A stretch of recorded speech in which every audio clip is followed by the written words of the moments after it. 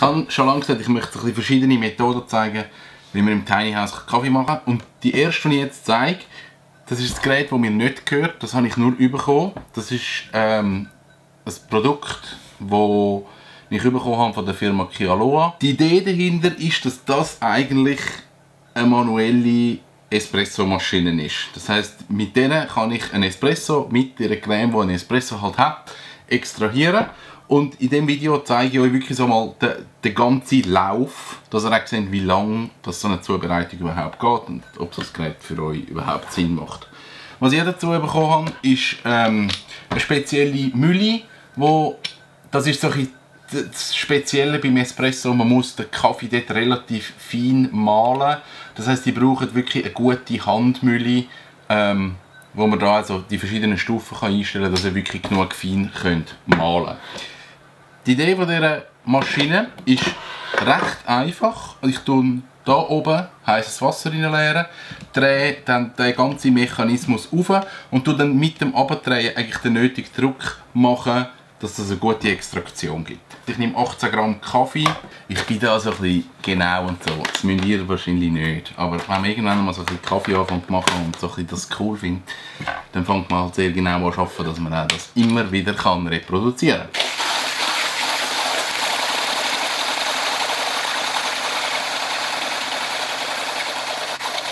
Was bei dieser Maschine zu beachten ist, ist, die ist aus Metall und ich möchte einen Espresso eigentlich in möglichst hoher Temperatur, also 2 oder 93 Grad, extrahieren.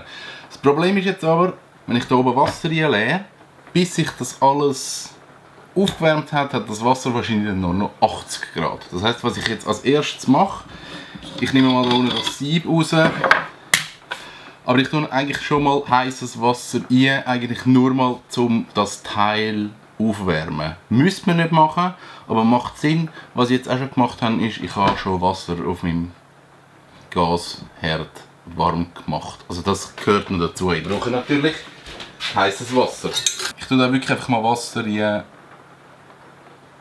fülle das Ganze und lasse schnell einen Moment stehen, einfach dass das ganze Behälter da kann warm werden. In dieser Zeit kommt der Kaffee hier in das Sieb rein. Das gibt es alles dazu. Also ihr kommt bis auf die Mülle, eigentlich äh, eben der Siebträger, das Teil da, das kommen wir über. Und dann muss man das andrücken. So. Und dann sollte es ein bisschen gerade sein. Ich mache das im Normalfall Stehen, es ist ein bisschen ungewohnt im Sitzen das zu machen. Aber egal. Genau, und dann ist der Kaffee da rein gepresst. Ich glaube, das ist jetzt genug warm, das heißt, ich kann da mal aufdrehen und in dem Moment sehen ihr, jetzt fängt schon das Wasser rauslaufen. Ich drehe das jetzt mal ganz auf. So. Dann leert sich das.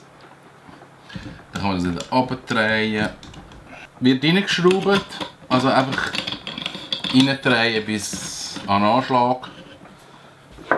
Wasser oben reinleeren und dann sehe ich irgendwann ist die Wassermenge dann über diesen Löchern und das ist für mich so der Moment, wo ich stoppe. Man könnte das auch anders mit Abwägen machen, aber ich glaube, das ist so ein relativ einfaches Merkmal. Und jetzt ist eigentlich wieder das gleiche Prinzip. Das heißt, ich mache hier die Kamera auf mit Aufdrehen. Jetzt kommt das Wasser in Kontakt mit dem Kaffeepulver. Und ich kann da ganz aufdrehen. So. Und dann mache ich das wieder umgekehrt. Und beim Abdrehen, jetzt merkt man, jetzt wird der Druck ein bisschen grösser. Jetzt brauche ich wirklich die Hand. Und jetzt fange ich an, den Kaffee extrahieren. Das heißt, jetzt seht ihr unten, wie der Espresso rauskommt.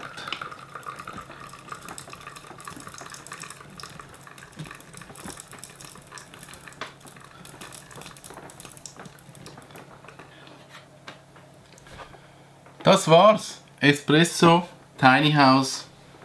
Ähm, recht einfach zu machen eigentlich. Die Reinigung von dem Ding ist eigentlich sehr simpel. Das heißt, ich nehme da einfach den ganzen Siebträger wieder raus, kann ich rausdrehen und jetzt ist es ein nass. Das war ein bisschen unglücklich, gewesen, aber grundsätzlich, wenn er einen Moment wartet, ist das auch nicht mehr so nass, das ausklopfen. Erledigt.